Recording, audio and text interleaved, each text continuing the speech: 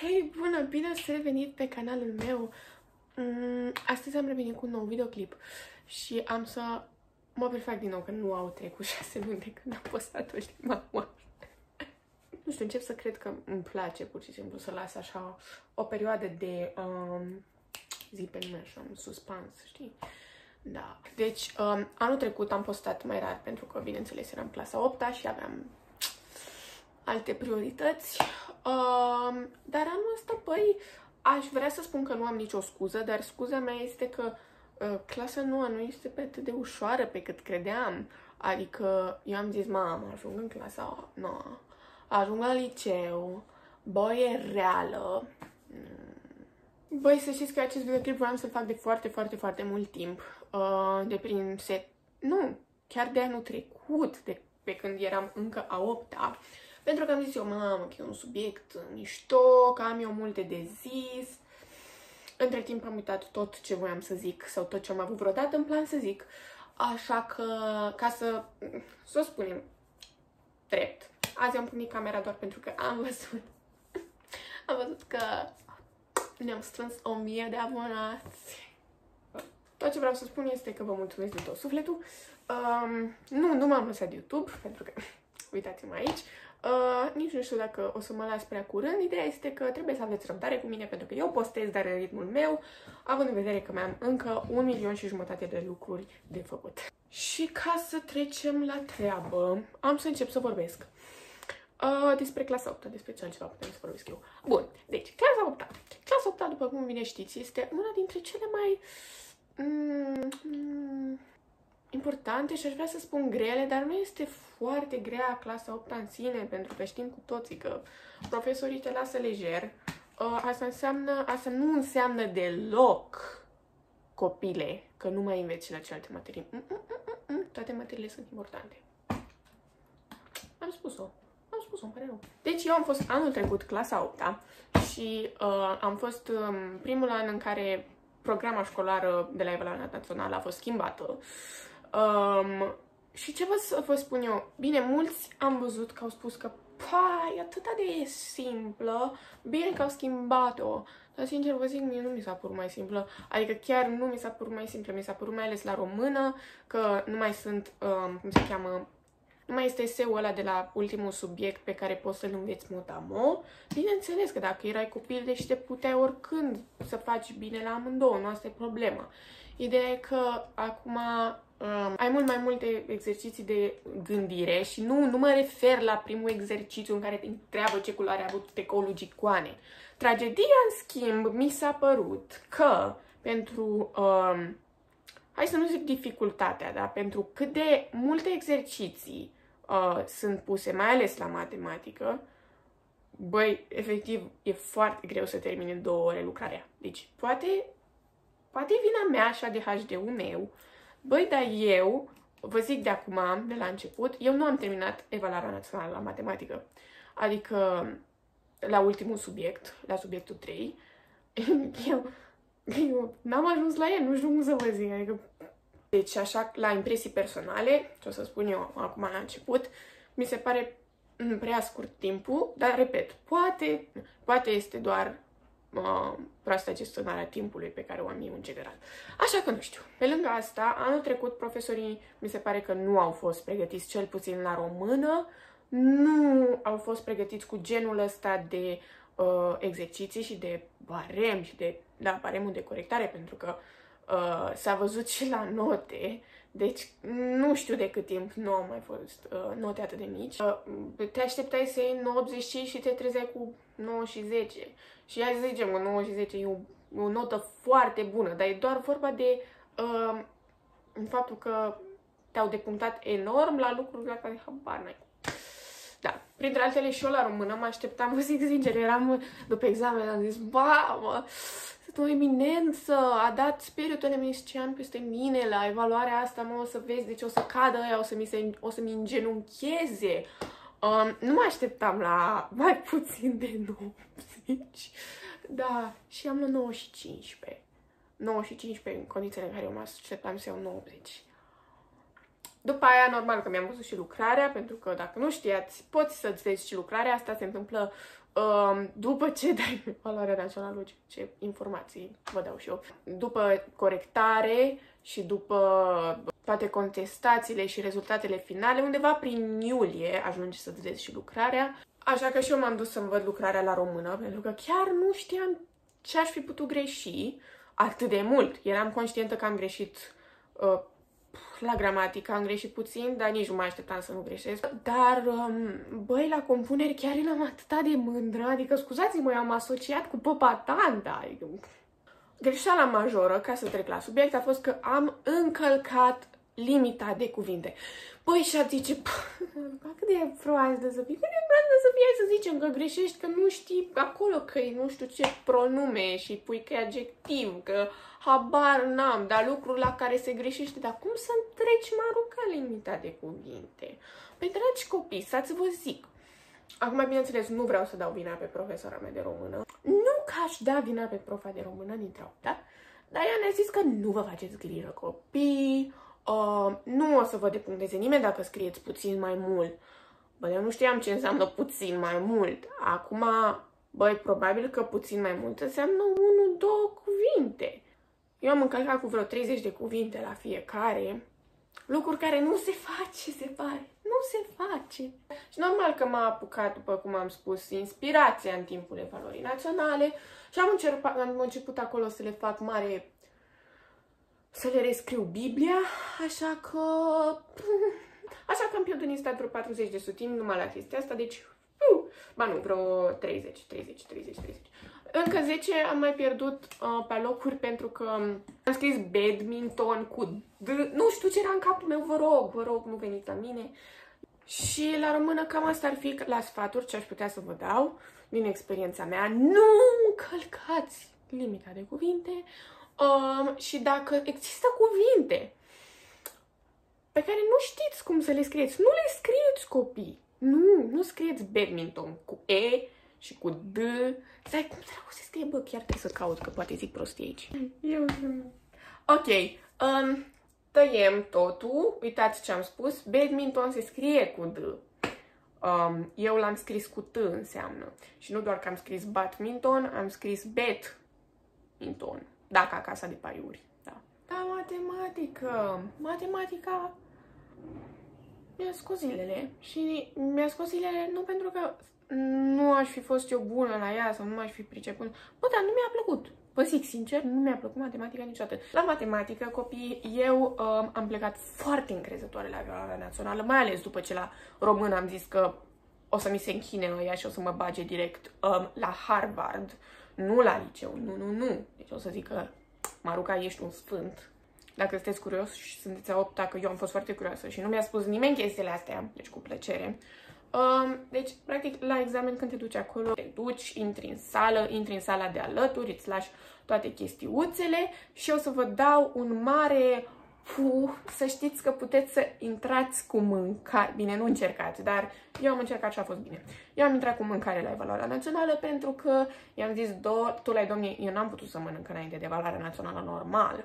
A început la 9, dar am zis că până la 11 mă ține, dar uite, eu sunt mai încăpățânată și nu că m-am venit eu cu semiciu cu salam, doamne ferește, dar mi-am luat uh, o banană și un chefir, uh, Bine, mi-am luat două banane și un chefir uh, și știu că la mate am mâncat în timpul evaluării naționale. Poate de asta n-am terminat lucrarea, dar mm, mă rog. Ideea e că măcar n-am suferit de foame. Deci ce contează 40 de sutimi în minus. Deci da, eu la evaluarea națională la matematică am uh, mâncat, uh, se poate, am scos în schimb eticheta de la, adică ambalajul de la bă, sticla de chefir, adică uitați dacă... Aoleu, pe vremea mea se desfăcea mai ușor. A. Așa. Deci dacă faceți așa cu sticla de chefir, vă zic eu, nu o să vă zică nimeni... Nu o să vă zică nimeni nimic. Deci o să trebuiască să vă lăsați absolut tot telefon, buletin uh, în altă sală și să treceți să dați tot ce puteți din voi. Și am încredere.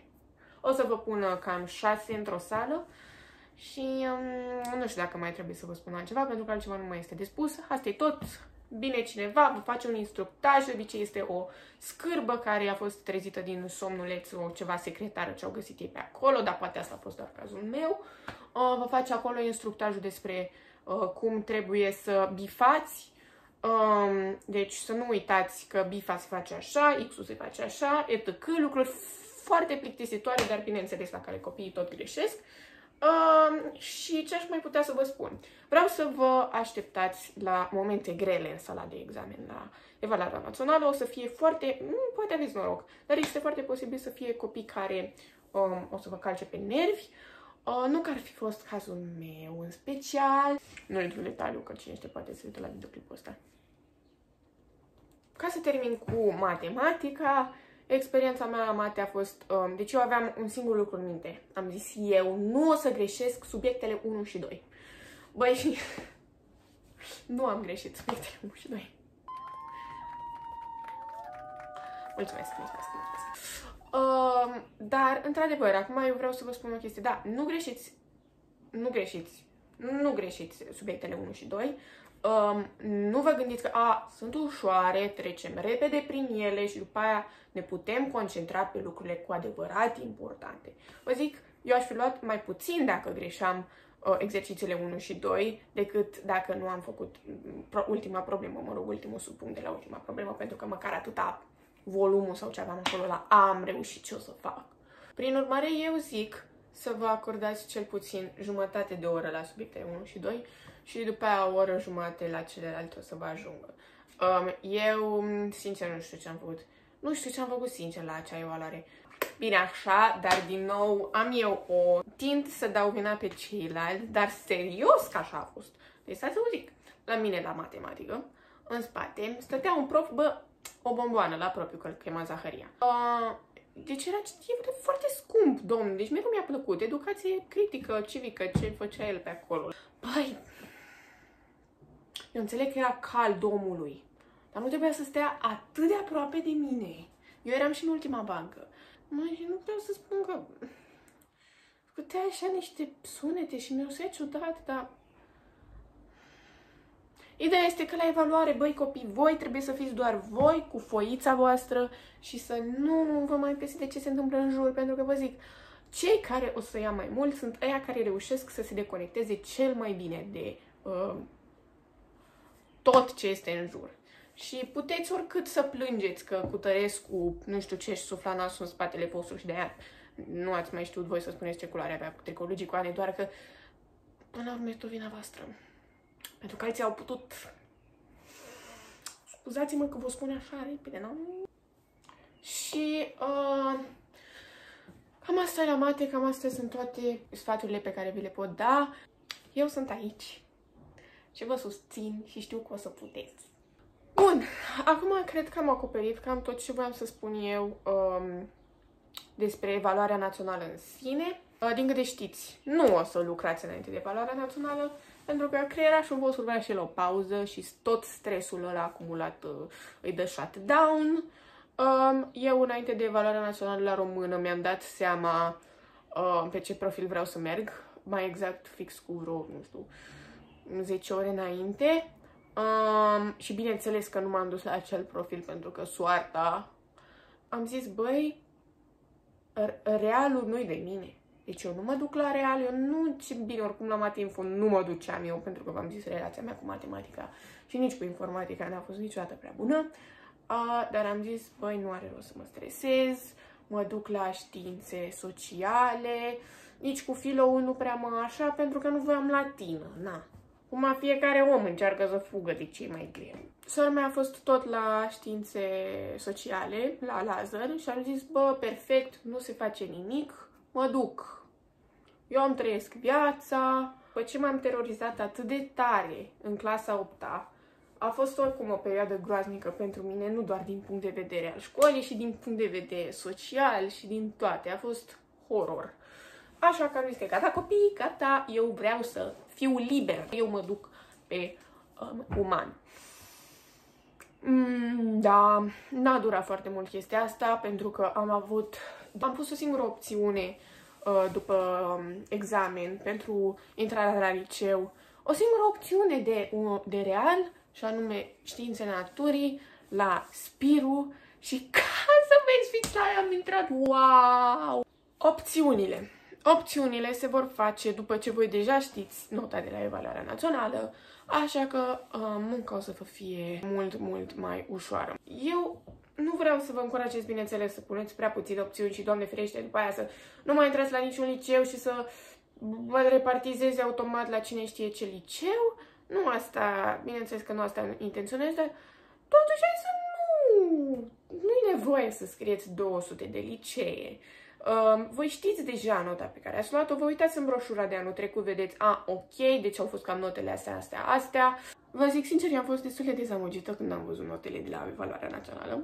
Mai cum era fericită, deci ca să înțelegeți, mai că mea chiar credea că eu o să iau mai puțin și m-am simțit puțin jignită, dar nu asta e problema. V-am zis, da, am luat 95 pe la română și 9,55 la mate, 9,47 media totală. Uh, doar că, uh, băi, deci voi trebuie să înțelegeți că nu o să vin din nou să vă spun cu ah, nu notele te definesc, copile, ci ce ai în creieraș. Păi da, asta oricum, asta oricum. Dar, voi nu puteți înțelege chestia asta, pentru că nici eu n-am înțeles-o și mi-a fost foarte... A trebuit să ajung la liceu și să văd că, băi, chiar treaba e grea și n-ai cum să iei mereu 10. Așa că eu doar vreau să rețineți că în viață chiar nu contează că ești cel mai bun, Contează doar să fii cel mai fericit. Iarăși m-am îndepărtat de la subiect, dar nu asta e ideea. ideea. Uh, ideea este că, da, trebuie să înveți. Trebuie să înveți pentru evaluarea națională, dar, vă rog eu, nu vă stricați sănătatea uh, uh, și mentală, dar până la urmă se reflectă și fizic chestiile astea și nu vă frustrați pentru o evaluare națională. Și acum o să ajung să spun despre um, liceul care mi-a luat mie sufletul. Nu știu dacă ar trebui să fac, nu o să fac un videoclip separat, așa că pentru cei care nu sunteți din București, cam cred că ăsta a fost videoclipul. Uh, sper că v-a plăcut pentru că de acum încep să vorbesc despre um, Spiru Haret. Și um, de ce ar trebui să veniți voi la Spiru Haret? Profesorii, copilași.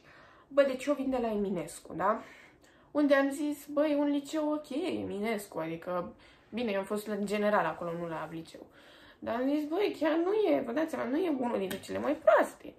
Păi și totuși, băi, diferența e atât de mare. De exemplu, la română. La română se fac mult mai multe chestii decât doar haide să citim o carte și să facem un eseu, caracterizare Mara de Ivan Slavici. Uh, avem proiecte peste proiecte, uh, piese de teatru la română, scenete. În timpul orei se mai trezește doamna, îi vine o idee și zice, bun, hai să facem nu știu ce, ne ridicăm toți, facem nu știu ce, după aia vine, ia scaune, pune scaune în fața clasei, interpretăm, facem tot felul de jocuri, ne surprinde pur și simplu în fiecare oră. Uh, facem expoziții la română, toate chestiile astea. Um, ne uităm, um, ne pune, ne găsește tot felul de uh, scurtmetraje, de exemplu, de la Cinepap, dacă nu le știți, și le comentăm și le asociem cu diverse cărți și uh, ne mai pune videoclipuri uh, de filozofie, ne-am mai pus și au fost foarte interesante, tot așa, le-am asociat cu cărți, uh, facem recenzii, facem uh, am făcut la un moment dat pagină de Facebook a unui personaj și a fost foarte mișto și toate astea, băi, par lucruri nesemnificative, dar vă zic, contează enorm. Deci contează enorm că nu este o ora noastră. Îmi pare rău că pentru că vorbele mele știu că n-au absolut nicio noimă, dar nu trebuie să mă credeți pe cuvânt. Puteți să veniți la Spiru și să trăiți pe uh, pielea voastră. Um, și pe lângă profesori, vă zic lista continuă, dar nu stau aici să se facă o oră de videoclip. Um, mai există și doamna directoare, doamna directoare, doamne Comeniță, deci o ador. Uh, pe lângă faptul că eu nu știam că... Deci eu înainte să vin la liceul ăsta, pur și simplu nu știam că chiar există oameni normali și ăsta este cel mai mare compliment pe care aș putea să-l fac eu, pentru că credeți-mă, am dat de atâția oameni ciudați de-a lungul anilor în cadrul școlii, atâția oameni fără suflet, fără simț pedagogic, fără de toate, încât ești wow când ajungi aici. Uh, deci doamna Comuniță, pe lângă faptul că este un om extraordinar, este uh, profesoară de muzică. Băi, chiar îmi plac orele de muzică și mie niciodată mi-au plăcut orele de muzică. Um, toate orele, într-adevăr, pot fi și mai interesante datorită, dar o să ajungem și acolo. Stați, stați acolo. Pe lângă faptul că este o persoană minunată, um, acceptă orice propuneri. Deci s-au dus două fete la un moment dat la ea și au rugat-o dacă pot face un târg de Crăciun și ea a zis da. Uh, din câte înțeleg, oricum se făcea, era tradiția asta cu târguri de Crăciun, de Paște, de etc. Și am, am cu... Deci datorită lor am fost la două târguri în cadrul școlii și um, dacă nu știți, eu mi-am început uh, un business de um, cercei și așa. Am aici mare atelierul meu în stânga, abia aștept să vi-l prezint și pe ăla la un moment dat. Um, și nu știu, parcă oamenii ăștia m-au, m-au încurajat atât de tare și doamna de muzică mi-a zis să mă duc, să mă înscriu uh, la târg și am avut un târg uh, două zile pe holuri, totul era frumos și de Crăciun și pur și simplu vindeai tot ce voiai tu, eu vindeam cercei, alții vindeau lucruri pe care le găseau prin casă, dar oricum există extrem de multe uh, lucruri în astea, activități extrașcolare, pe lângă târgurile de Crăciun și de uh, Paște, care sunt extraordinare și la care vă zic, bă, deci acolo este se cumpără, se cumpără, pentru că sunt copii, sunt, na. Pe lângă asta, uh, sunt multe concursuri de artă în cadrul școlii și îți dau, băi, nu știu, e foarte șmecher, foarte șmecher. Uh, dar asta trebuie să te și interesezi, bineînțeles. Pe lângă cluburi, cluburi de cluburi nu o să vă mai zic, că toate liceele, ca să-și facă reclamă, zic, avem clubul ăla, clubul ăla, clubul ăla. Dar da, și noi avem club de robotică, debate, chitară, șah, um, ce mai avem, club de teatru, club de... Um, dar dacă veniți la Spiru, vă zic sincer că aveți ce face. Și cred că ultimul lucru cu care o să închei și acest videoclip, uh, aparatură, deci e foarte, foarte uh, bine dotată. Școala, avem, um, avem table inteligente, cred că în absolut fiecare clasă. Nu cred că în toate, ba nu, cred că sunt unele care nu au stat, dacă stau să mă gândesc la alea de acolo. Dar uh, majoritatea claselor au table inteligentă și efectiv e, ah, lifesaver. Ideea e că sunt o groază și o groază de motive pentru care ar trebui să veniți la Spiru. Media este, v-am spus, deci... Uh, mm, eh, acum nu știu cum o să fie exact notele la anul, doar că, adică anul ăsta, dar, băi, copii, eu vă recomand din tot sufletul meu. Bineînțeles că sunt sigură că există și alte licee um, la fel de bune, doar că eu vi-l recomand pe ăsta pentru că ăsta e al meu și nu am... Vă dați seama. Nu știu dacă am spus lucruri interesante în acest videoclip, v-am zis, aș vrea, am vrut doar să fie așa ca o șezătoare în care eu să vă spun cum a fost experiența mea la evaluarea națională și pe parcurs, să tragem împreună anumite concluzii și anumite um, să vă spun anumite sfaturi după care să vă ghidați și care sper să vă, uh, să vă fie ajutat. Eu sper din tot sufletul că v-a plăcut, să știți că o să mai urmeze videoclipuri, dar eu sper că și acest videoclip a fost uh, interesant și folositor și vă rog, deci dacă aveți orice întrebare, uh, nu spun că o să am și răspuns la ea, dar sperăm, puteți încerca, merită încercat, eu răspund absolut mereu la toate mesajele de pe contul meu de Instagram. Um, ar fi foarte cringe să fac așa și să nu-l pun pe ecran, dar dacă uit cumva sau dacă există întâmplă anumite probleme tehnice, este maru underscore Ioana underscore. Așa că eu vă pup, vă iubesc, vă îmbrățișez, sper că v-a plăcut și noi ne revedem data viitoare cu un nou videoclip pe acest canal. Bye!